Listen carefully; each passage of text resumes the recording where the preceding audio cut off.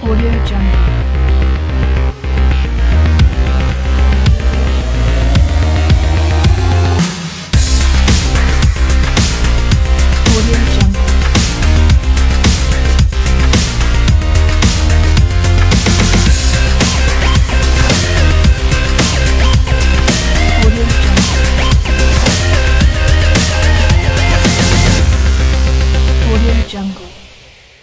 Amigos de la Fórmula 4 Argentina, el placer de saludarlos. Aquí estamos en Concepción del Uruguay para una nueva fecha de este campeonato, una de las categorías de monopuestos más importantes que tiene la República Argentina, con proyección a nivel internacional. Nuevamente recala en este autódromo de Concepción del Uruguay. Alejandro Coplo, el gusto de saludarte, ¿cómo te va? ¿Qué tal, Mauricio? El gusto de saludarte vos y a toda la amable teleaudiencia que nos sigue en cada una de las transmisiones de esta Fórmula 4, como bien lo decías, con proyección internacional, que viene por un nuevo capítulo a la provincia de Entre Ríos y este fin de semana con una triple exigencia. Así es, efectivamente, el campeonato que comenzó en eh, Concordia, que pasó por Buenos Aires, que también tuvo su tercera fecha en el Autódromo de Concepción del Uruguay. Hoy nuevamente estamos aquí en este circuito, el tercero en importancia dentro de la provincia de Entre Ríos y uno de los eh, circuitos más nuevos que se ha inaugurado aquí en nuestro país. Me voy a la zona de boxe, Franco Chipiza, el gusto de darte la bienvenida a esta transmisión.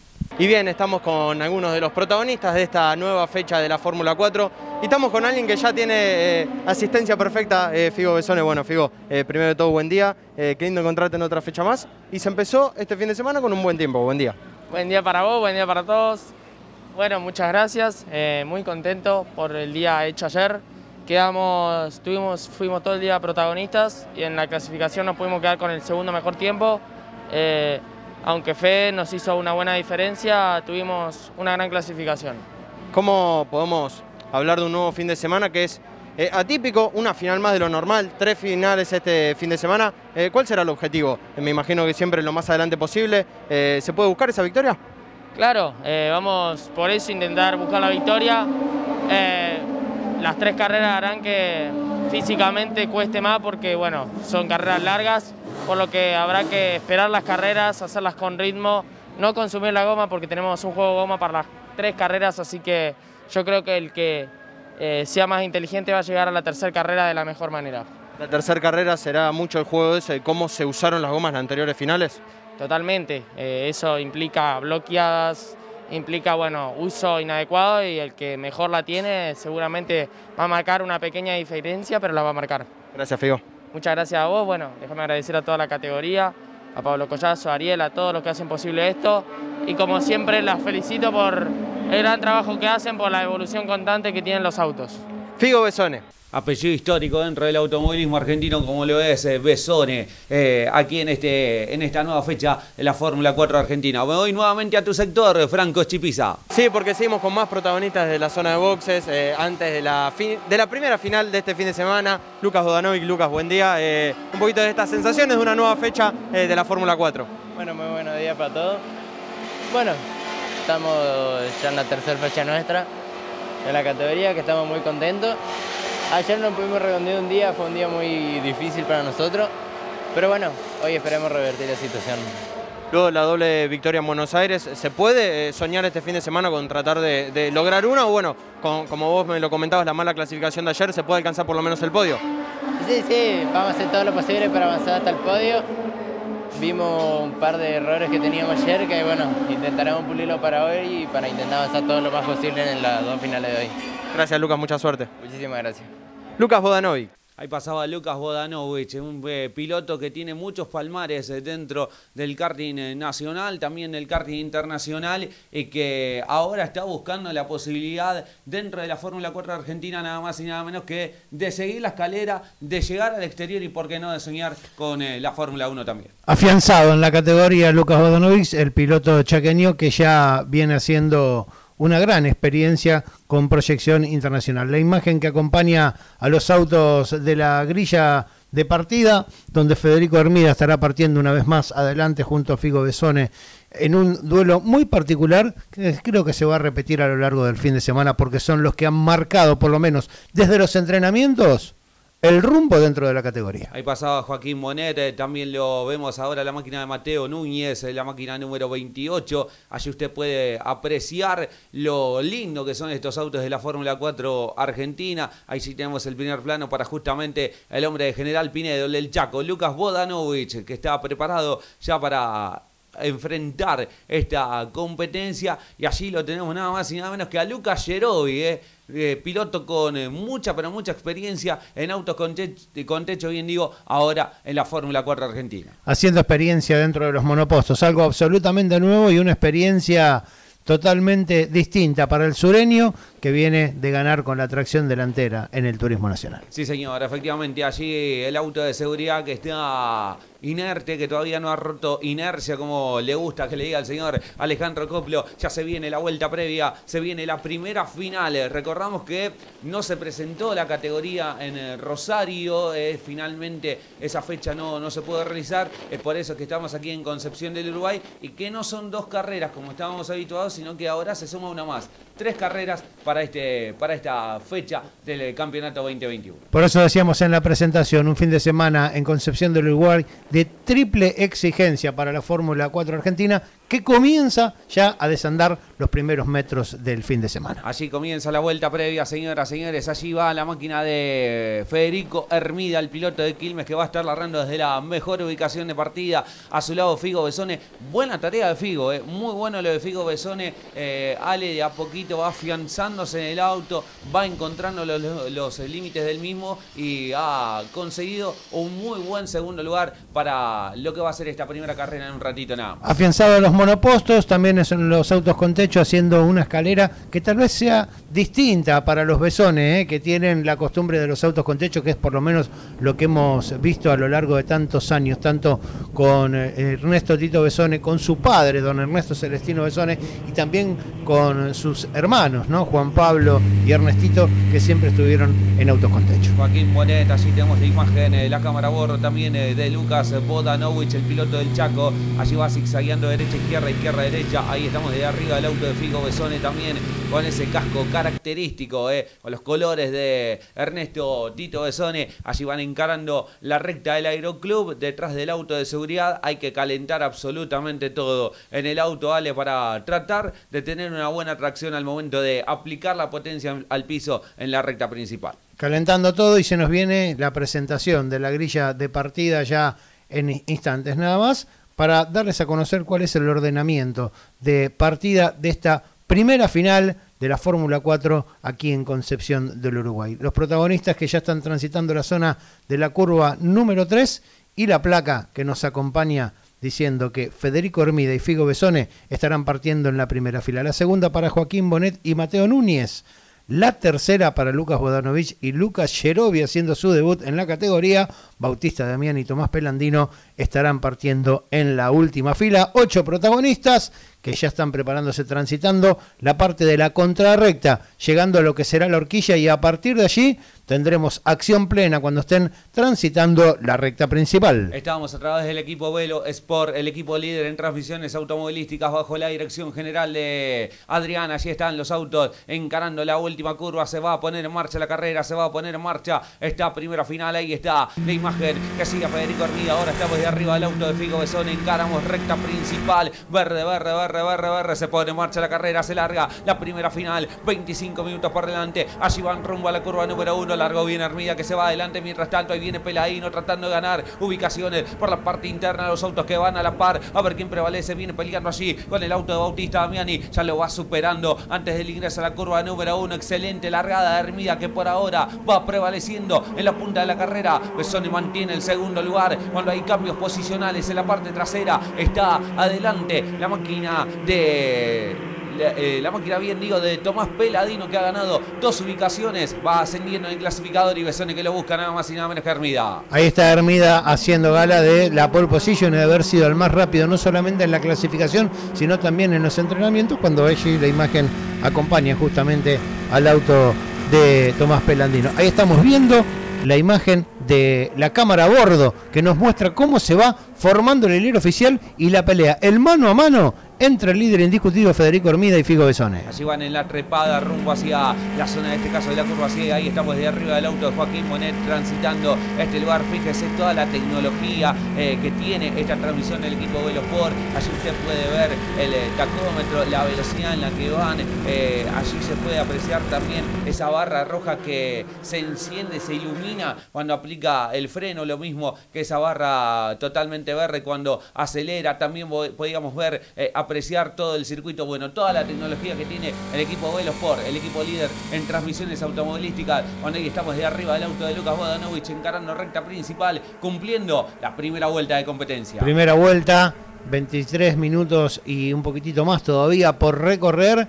Y vemos la diferencia que viene siendo que hasta ahora es menos de medio segundo entre el líder Federico Hermida y un eh, Figo Besone que quiere ir decididamente a buscarlo y que va mirando cómo detrás suyo va quedando el resto que se va alejando. Así venía Lucas Yerovi por delante de Bautista y que viene cerrando el clasificador. Los autos que están negociando ya la zona del eh, Curbón. Veremos a ver qué es lo que puede llegar a acontecer. Ahí está la primera, la imagen, bien digo, para Tomás, para Peladino, que ya está negociando la zona del Curbón en eh, trepada rumbo hacia la última parte del mismo. Y después esta especie de tobogán que los eh, hace depositar los autos en esta recta que los lleva hacia la curva de 90 grados. Vienen para cumplir una nueva vuelta. Por ahora, adelante, Hermida, el de Quilmes, va monopolizando esta carrera. Con ahí está Joaquín Bonet, que viene por ahora transitando como en la tercera ubicación. Uno de los debutantes en la categoría nos muestra cómo se transita por la zona de la contrarrecta y se busca el frenaje para la última curva y entrar a la principal para cumplir vuelta número 2 con una Hermida consolidado adelante, haciendo ya un poco más un segundo de diferencia sobre Figo Besone y el resto. Eh, recién hablábamos de los debutantes, Bonet es uno, Lucas Gerovi es otro, Es otro de los pilotos que están eh, eh, debutando este fin de semana en la Fórmula 4 de Argentina. 21 minutos 50 segundos de carrera quedan, señores, de competencia. Allí está justamente Tomás, ahí está Pelandino dejando atrás la curva número 1, ahora en el descenso rumbo hacia el segundo viraje. Allí viene Lucas Bodanovich, también el piloto de General Pinedo del Chaco. Se estabilizan las diferencias cuando va completamente de costado Pelandino tratando de dominar el auto en la zona de la curva número 2, aquí en esta recta donde ya se deposita también para una nueva curva a la izquierda. Consolidado dormida, la diferencia asciende a los 2 segundos 20 con respecto a Besone. Así es, efectivamente, allí está el eh, primer plano para Lucas Bodanovich, negociando ya la zona del Curbón. Eh, Nuevamente estamos arriba del auto de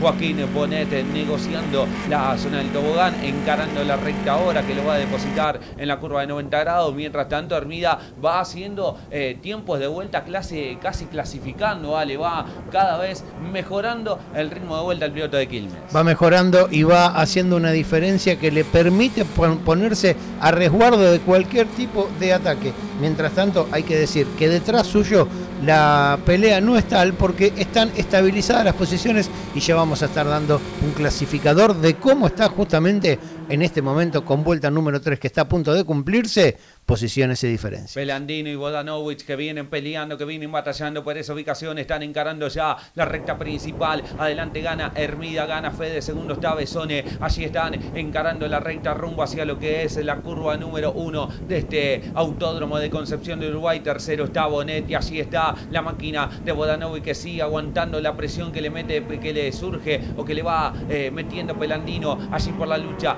la cuarta colocación. Los autos que están negociando la zona de la curva número 2 encaran la recta del Aeroclub. Allí lo viene haciendo el de General Pinedo en el Chaco que por ahora mantiene su ubicación. que tiene detrás a Mateo Núñez, que le viene queriendo pelear la, colocación y hay que tener en cuenta también lo que viene haciendo Bautista Damiani con el auto número 99 tratando de acercarse allí a esas posiciones y lo propio también que ocurre con Lucas Gerovi, un mundo nuevo por descubrir para el piloto de Tierra del Fuego. Imagen acompaña nuevamente a Joaquín Bonet. Así es, efectivamente, que recién se le ponía un poquito del costado en la bajada del eh, tobogán y va Pelandino por afuera, va Pelandino por afuera, va por adentro. Lucas Badanovi se tocaron, se tocaron los autos, se alcanzaron a rozar, tuvo que levantar Pelandino porque si no se iba afuera a la salida de la curva de 90 grados. Señoras, señores, allí está Lucas, allí está Bodanovich y ahora está Mateo, está la máquina de Núñez por delante de Lucas, por delante del piloto de General Pinedo en el Chaco. Los autos que están negociando ya la zona de la última curva. Van a tomar contacto con la recta principal. Allí estamos de arriba del auto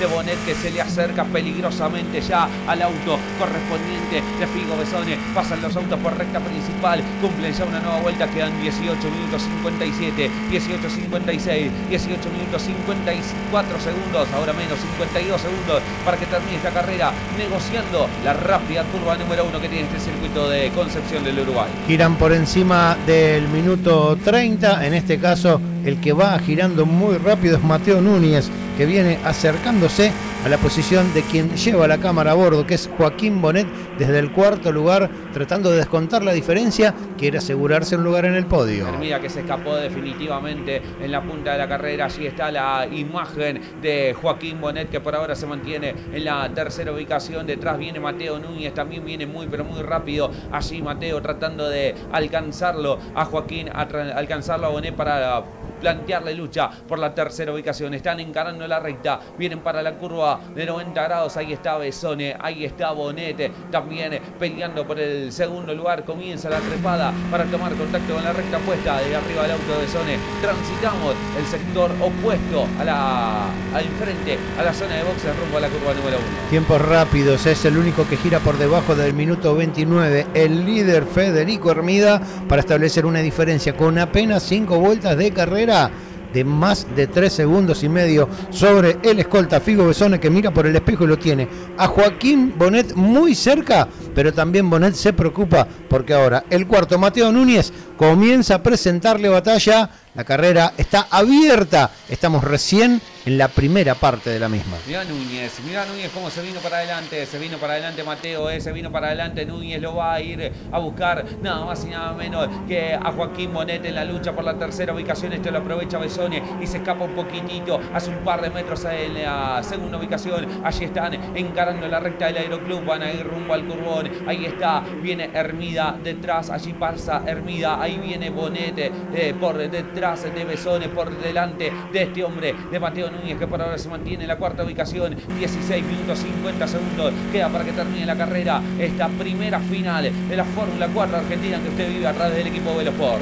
récord de vuelta, impecable el giro que acaba de meter Federico Hermida, 1.28.653, la vuelta más rápida de la carrera para establecer una diferencia que ya a esta altura es cómoda de 4 segundos 57 con respecto a su escolta Figo Besone. La lucha está por el último escalón del podio. Atención, se acerca peligrosamente Mateo Núñez, quiere ir por la superación del auto de Joaquín Bonet que ahora comienza a jugarse también en los frenajes porque lo ve cada vez más cerca Figo Besone. Recién decías el récord revuelto fíjate que Hermida giró en la clasificación en 1.27.4 eh, para registrar el eh, tiempo más rápido al momento de clasificar. Recta principal, eh, nueva vuelta que se consume aquí en Concepción del Uruguay. Los autos que van rumbo a la curva número 1. Allí viene Besone, allí viene también la máquina correspondiente a Bonet que otra vez vuelve a la carga, vuelve al ataque sobre el piloto capitalino de negocio en la curva número 1 en el descenso ya brusco hacia la segunda variante de este circuito de Concepción del Uruguay. Estamos viviendo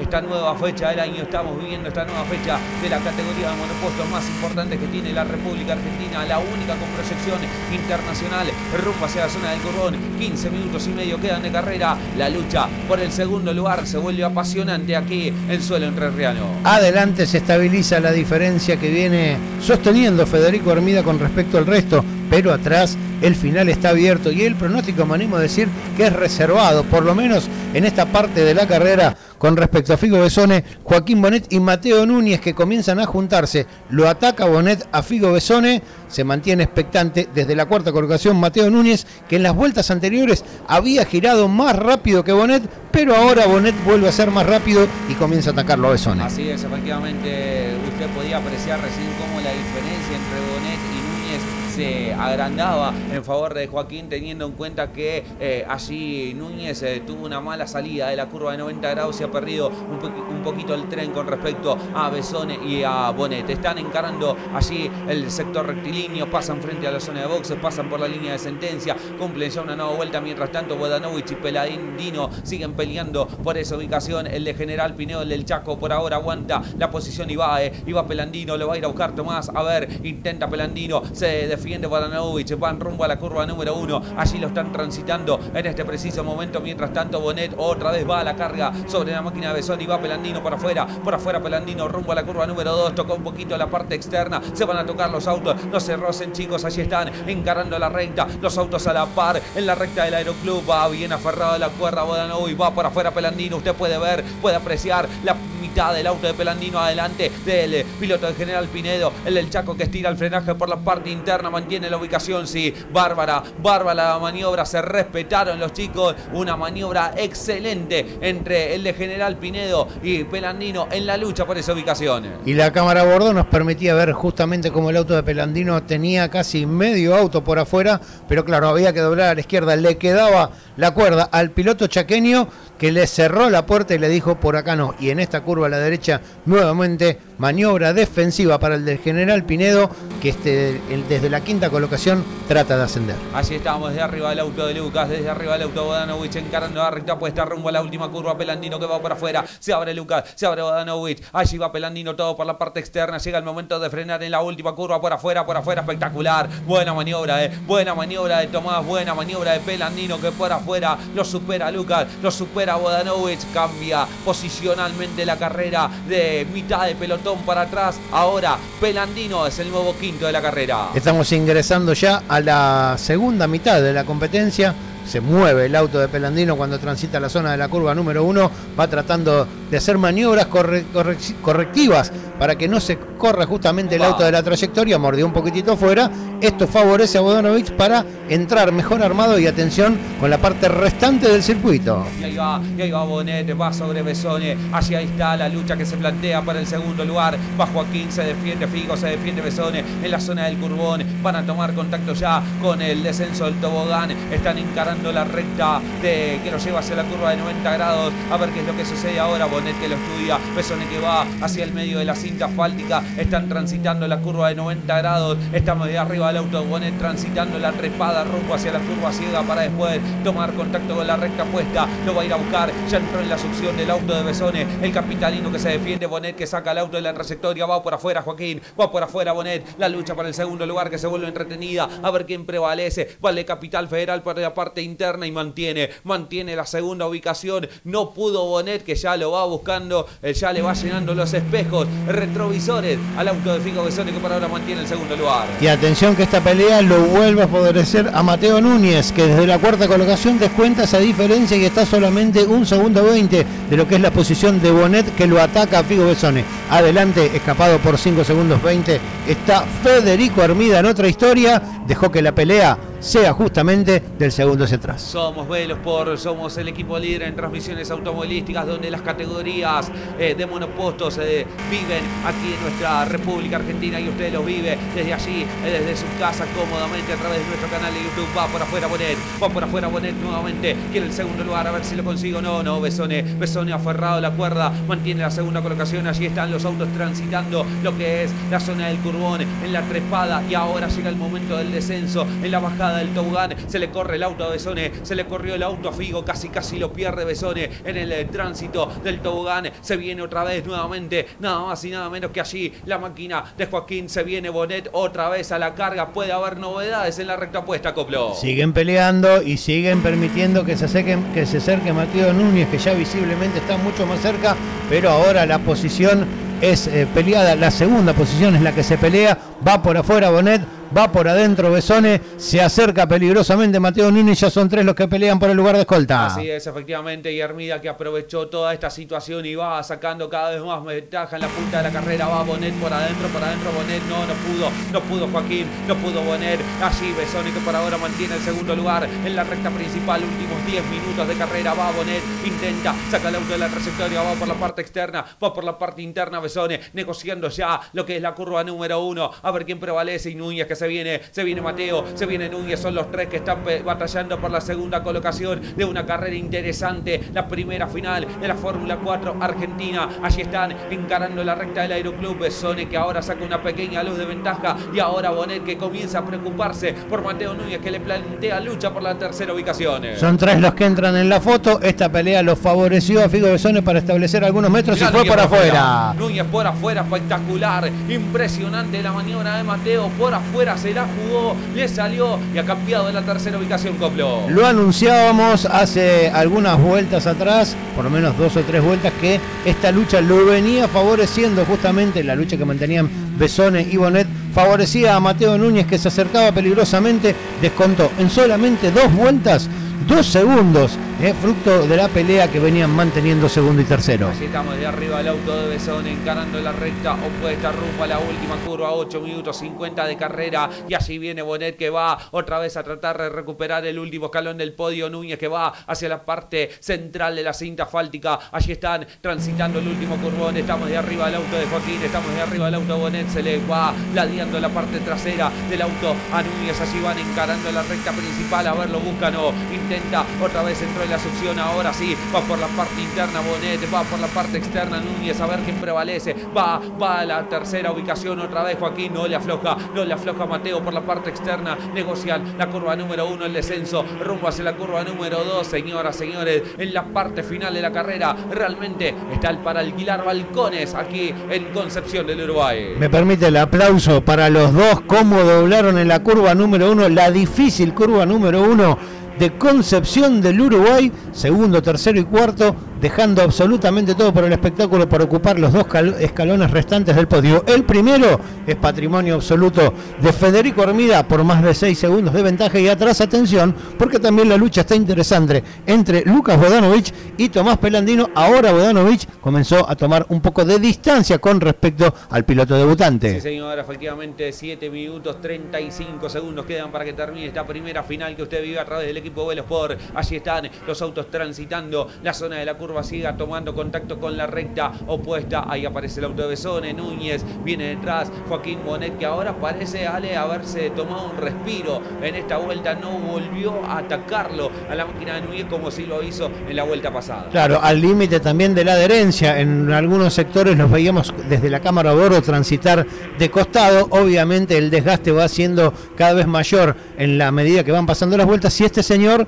hace una diferencia tranquilizadora, se abre el reloj, decimos top y hay más de 6 segundos de ventaja en la punta de la carrera para un Federico Armida imbatible que desde los entrenamientos mostró que tiene herramienta para quedarse con todo. Qué lindo recuerdo me trajiste ese del top, ¿eh? de esas carreras en, en la ruta. Allí están, encarando la recta del Aeroclub. Ahí está la imagen del puntero, ahí está la imagen de Federico Armiga, que con este resultado sigue ampliando la ventaja en el eh, campeonato, ¿vale? Y transitando ya por la zona del opuesto, se va y se va y se va en el campeonato. Hay que ver cómo eh, negocia todo el resto del fin de semana, pero se sigue escapando en su primer año cada vez más consolidado. Fíjate la diferencia que ha tomado con respecto al resto. El segundo sigue siendo Figo Besone, que tiene hasta ahora tranquilidad en la segunda colocación, cuando vemos allí la cámara a bordo de Lucas Bodanovich, que está lejos de segundo, tercero y cuarto, y también de a poco va edificando una diferencia tranquilizadora con respecto a quien lo sigue, que es Tomás Pelandino.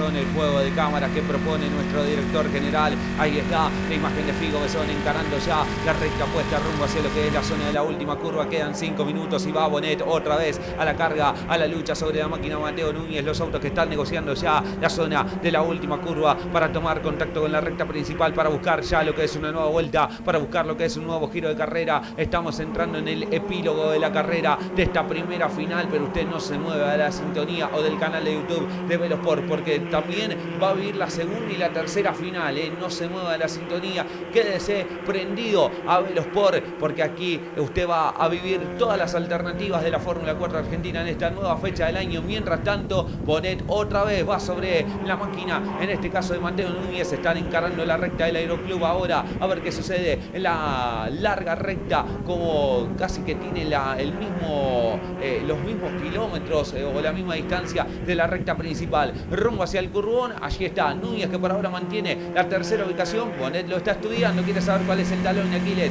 que tiene la máquina número 28 que por ahora está tercero. Y si siguen peleando, van a favorecer a Figo Besone cada vez más consolidado en el lugar de escolta porque se alejó poner- de ellos y va a poner por afuera. Atención que acá dos no doblan. A ver, va Bonet por afuera, pero la cuerda la es a favor de Mateo Núñez. Los autos a la par. Buena, buena los chicos, eh. Buena maniobra de los chicos. Se respetan, van demostrando que cuando hay respeto entre ambos pilotos se puede doblar de a dos en las curvas más difíciles, más comprometidas de este circuito de Concepción del Uruguay. Allí están encarando la recta Mateo Núñez que por ahora mantiene la tercera ubicación. Bonet que lo va a ir a buscar. A ver qué es lo que sucede ahora. Transitan ya la última parte. Allí están dejando atrás la última curva, el último curvón para tomar contacto con la recta principal. Fede Hermida que ya pasa por línea de sentencia cumpliendo ya una nueva vuelta. También lo hizo allí Besone, lo hace Núñez, lo hace también Bonet, aparece Bodanovich, aparece Tomás Pelandino también en plena recta principal, rumbo hacia lo que es la curva número uno y detrás aparece Bautista Damiani y Lucas Gerovi. Señoras, señores,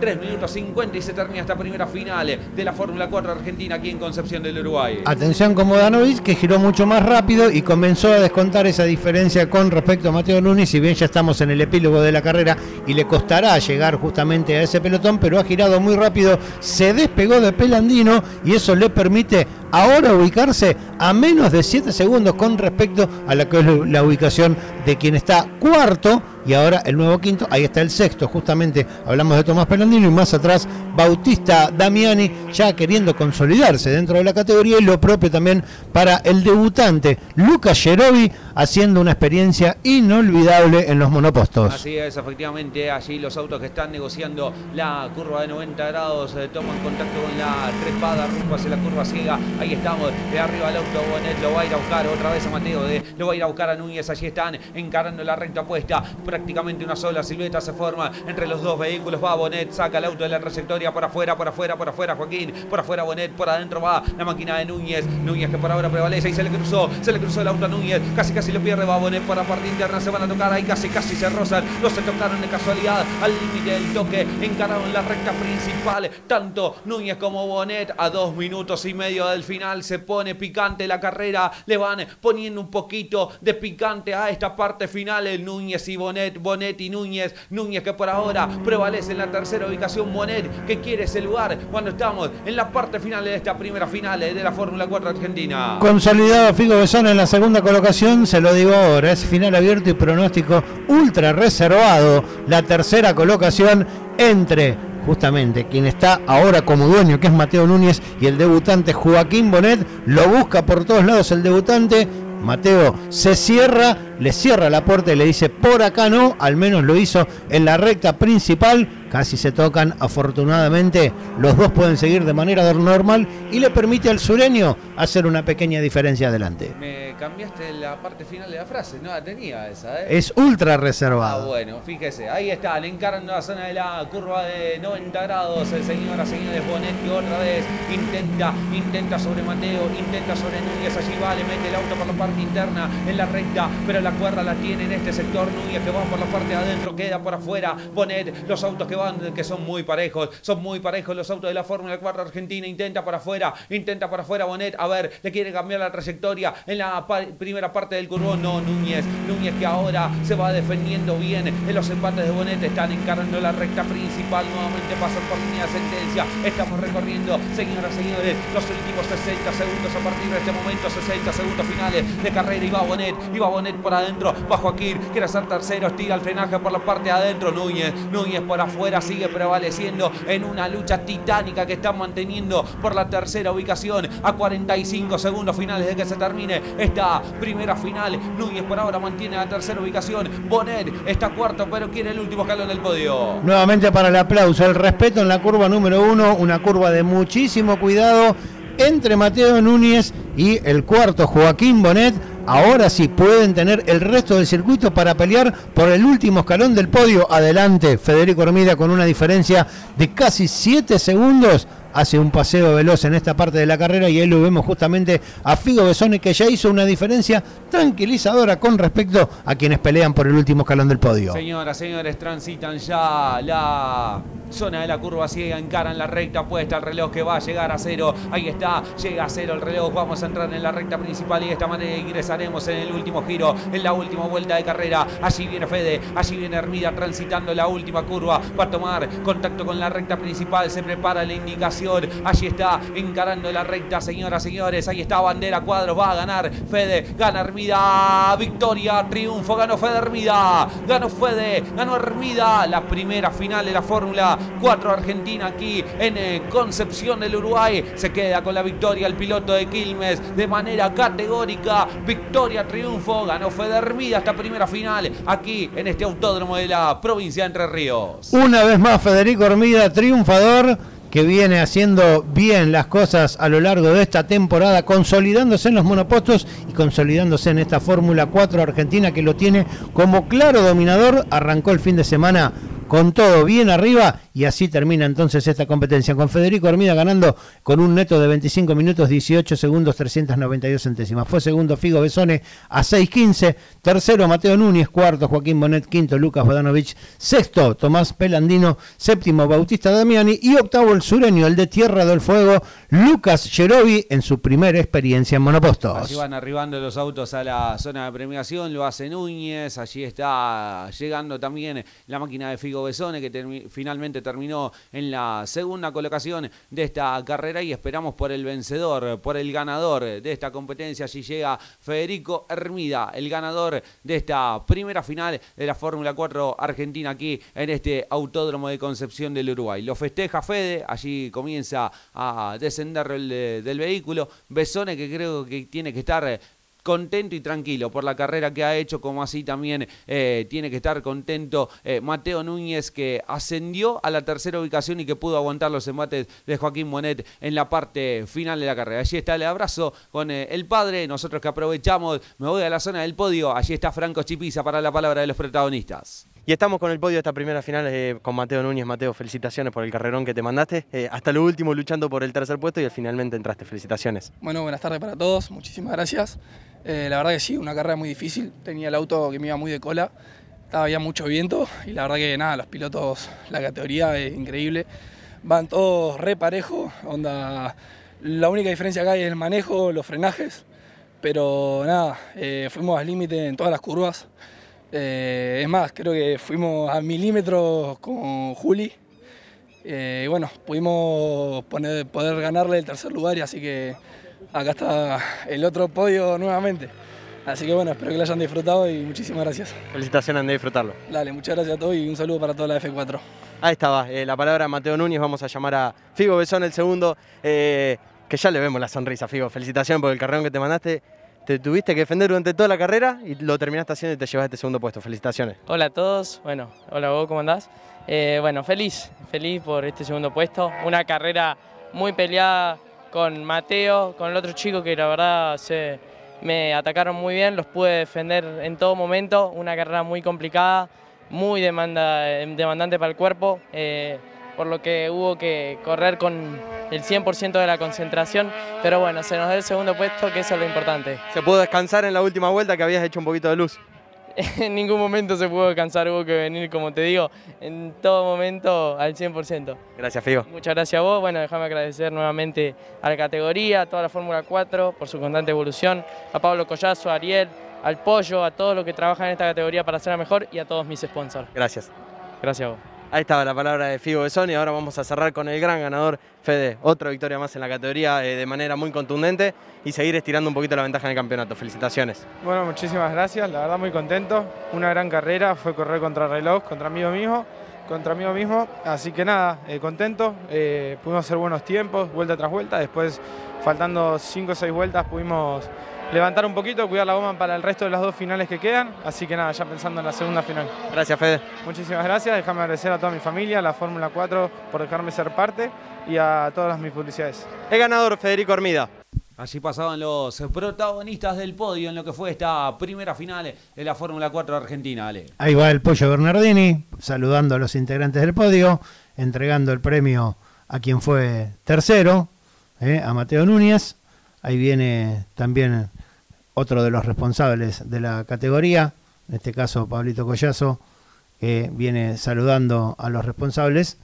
Y lo propio también con quienes están. Ahí, Ahí está Pablo, ahí está Pablo Collazo. Era, perdón, era Fernández quien Sí, estaba. señor, eh, que le entrega nada más y nada menos que el trofeo al vencedor de esta primera final, a Federico Hermida, que sigue estableciendo diferencias en eh, la punta del campeonato de este certamen 2021 de la Fórmula 4 Argentina, que tiene certificación de la Federación Internacional de Automóvil. Ahí están los tres eh, integrantes del podio en el festejo después de lo que ha sido una carrera que tuvo tranquilidad para el ganador. Se fue la primera final. eh, No se mueva de la sintonía del, eh, de Velosport del canal de YouTube. En un ratito los esperamos. Le contamos a todos ustedes lo que pasa con la segunda final de la Fórmula 4 Argentina aquí en Concepción del Uruguay. Chao, hasta siempre.